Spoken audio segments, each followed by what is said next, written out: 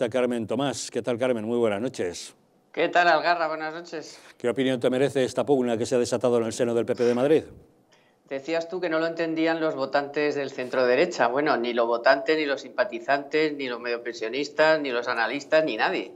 O sea, es que nadie se explica cómo ha empezado todo este lío y ahora la madeja ha cogido tal tamaño que ahora yo creo que no saben ni cómo desenredarla, ¿no?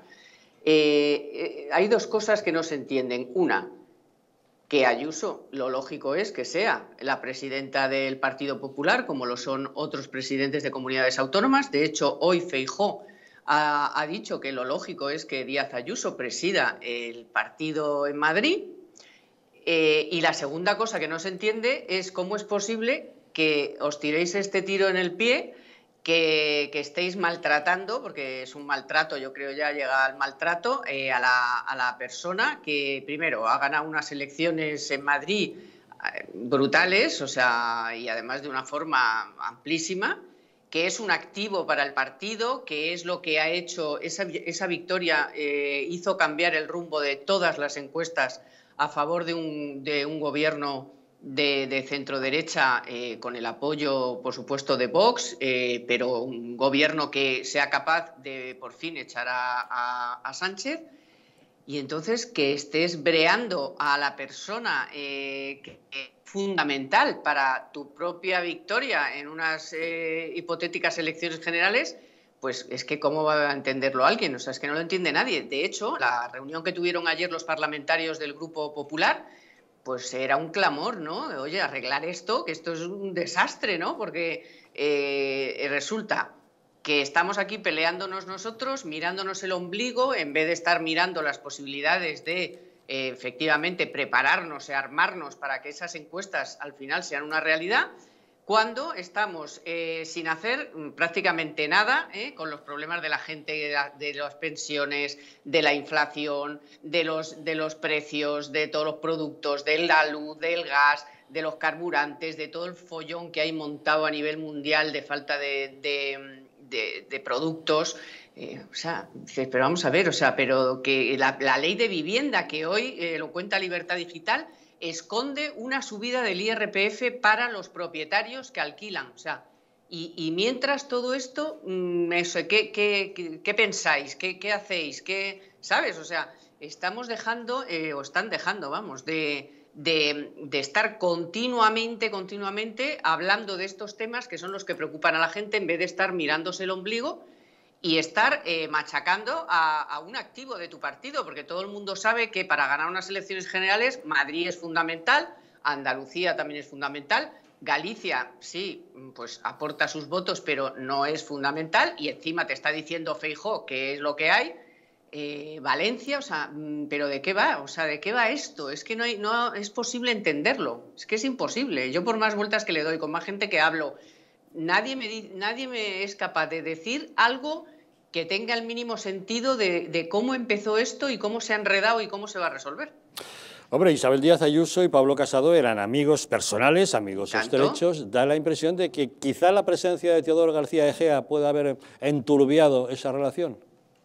Bueno, eh, yo creo que eso era lo que hemos pensado muchos todos todo el rato, ¿no? La segunda fila está dando la lata, pero ya, oye, ya, eh, Pablo, o sea, casado, ya, eh, ya vale. O sea, si se está haciendo todo esto es con tu consentimiento, porque ya eh, Teodoro podía estar enfangando un poquito, que no, vamos, que creemos que es así, pero mm, llega un momento en el que dices, vamos a ver, pues pon orden. O sea, si sois tan amigos, si sabes que es un activo, si sabes que desde la victoria de Madrid las encuestas te dan mejor, ¿por qué? Pues porque eh, es un activo, Ayuso, ya está, la quiere la gente, punto te va a favorecer llevarte, eh, seguir llevándote bien con ella, eh, a darle a Madrid todo lo que, lo que sea para incluso que todavía vote más gente. Pues, pues resuélvelo. Si es, si es segundo el que está enredando, pues dile, oye, deja de enredar, ¿no? Vamos, digo yo que se hace así, ¿no? Si tú tienes un colaborador que está enredando, pues le sientas aquí y le dices, a ver, que, te, que ya vale, que hasta aquí hemos llegado. Digo yo, ¿no? Esa, sería la manera. Y si finalmente se llega a esa solución que están proponiendo algunos de celebrar unas primarias con varios candidatos, ¿corre Ayuso el riesgo de ser aclamada en la primera vuelta con el voto de los, eh, de los, militantes, ser la más votada, pero en una segunda vuelta el voto de los compromisarios más manejado por el aparato que pudiera descantarse hacia otro candidato? Bueno, de eso sabe mucho Casado que eh, al final él ganó por, por los compromisarios. Eh, sí que puede pasar, pero vamos, yo espero de verdad, sinceramente, no lo sé, no, puedo tener la bola de cristal, pero yo espero que no lleguen a esos términos. O sea, espero que no lleguen a eso, eh, que no lleguen a presentar a un tercero. Andaba por ahí también el nombre de Terol. Eh, pero bueno, ¿pero os habéis vuelto locos o qué? O sea, si es que esto no ha habido ningún lío de estos, ha habido en ninguna comunidad autónoma. O sea, Moreno es el presidente del, PP Andalucía, Feijó es el de Galicia, el, de Castilla-León también. Eh, o sea, mm, ¿cuál es el problema? O sea, al revés, si es que no es, Ayuso no es, un problema, es un activo. A ver si se enteran en Génova. Es un activo, lo que, os guste o no. Eh, a que ahora creáis que ha superado todas las expectativas y al final joder, la nombré yo y ahora no me hace, no me hace caso. Pues es que la vida, la gente tiene vida propia y lo que tienes que hacer es aprovecharte de esa vida propia. Es una persona que, que te ha dado eh, un vuelco en las encuestas. O sea, es que no hay quien lo entienda, Algarra, es que, es que no hay por dónde cogerlo. De verdad que como lleguen a un congreso en el que se crean, bueno, imagínate que no pasara. O sea, ¿qué va a hacer Pablo Casado? O sea, ¿qué, ¿qué va a hacer Pablo Casado si al final no pasa eso? Porque la gente se asusta y dice, bueno, pero vamos a ver, o sea, pero ¿qué estamos haciendo aquí? Imagínatelo, ¿qué haría Casado entonces? ¿Que se va a ir a casa o qué? Es que, no, es que no se entiende. No, no, no se entiende en absoluto y además parecía que en la Convención Nacional de Valencia el tema quedaba finalizado ya. Ayuso dijo que ella se veía en Madrid, lógicamente, que no tenía otras ah. eh, pretensiones y sería razonable. Estamos a dos años vista justamente de unas elecciones autonómicas en las que teóricamente Ayuso puede arrasar, ratificar su mayoría y obtener una mayoría absoluta en la Comunidad de Madrid. en un momento en el que en unas elecciones generales, presumiblemente, eh, Pablo Casado podría convertirse en presidente del gobierno. O sea, sería el tándem ideal. La verdad es que andar entorpeciendo con estas maniobras no parece que beneficie a nadie, ¿no? no sé quién decía el otro día, en vez de salir con Ayuso todos los días, eh, tal, votantes, no sé qué, militantes, tal, ¿no? Que sería lo suyo, ¿no? Ahí los dos.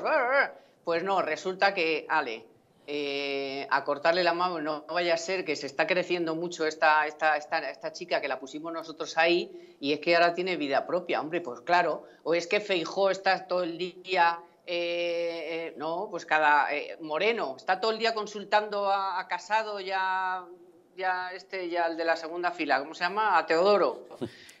pues no, hacen vida propia, o sea, pues marcan sus políticas. ¿Qué pasa? Que porque ha salido, la sacan en el The Economist y a ti no, pues chico, gánatelo. Venga, pues ponte a hacer, hacer oposición, no, no te hagas oposición a ti mismo. Claro, es que no hay quien lo entienda. O sea, yo espero de verdad que no lleguen a más, que esto, esta madeja la desenreden de la forma que sea, que Casado de un puñetazo en la mesa, si es que vamos, si es que quiere, si es que quiere llegar a algún sitio, y si quiere destrozarlo todo, pues ya, pues que lo destrocen. Y, bueno, pues sí, ya veremos lo que, lo, que, lo que ocurre. Pero aquí de lo que se trata es de echar a Sánchez, no de ahora resulta que tocar las narices a Ayuso, que es, que es tu, tu, tu más eh, fuerte eh, baza ¿no? Para, para, unas posibles elecciones generales. Y más si se adelantan, que yo sigo en la idea de que eh, Sánchez no llega al final, porque, no porque no quiera, sino porque no va a poder, porque se, le va, se va a enredar todo. O sea, es que mira cómo está la economía, mira que te voy a contar de cómo está eh, la gente de cabreada, es que cada día cabrean a, un, a, un, a, un, grupo, ¿no? Si no cabrean a los baby boomers, cabrean a los empresarios, si no cabrean a... O sea, es que, es que no dan abasto de, de, cabrear a la gente. Y todo eso es una bola que va creciendo y que, y que, luego además los fondos europeos ya veremos si llegan o no, en fin, que la cosa se está complicando mucho. ¿Y por, dónde, por dónde se va a romper, Carmen, el, el gobierno actual? se va a romper por la economía, si es que no le van a dar los números si es que se les va a ir al garete todas las cuentas, esto el, el show de, los presupuestos, si eso es una, eso es una filfa, eso es una, farsa, fue una farsa todo, pero si son los presupuestos que no, se los cree ni ella, ni la que lo estaba presentando se los cree, porque es imposible. Hoy, por ejemplo, el Consejo General de Economistas de España dice que va ahora a hacer otra previsión por debajo del 5 este año. Ya la OCDE nos ha dado, pues ya dice, bueno, España va a ser de los que menos, más tarde va a salir de, todo esto.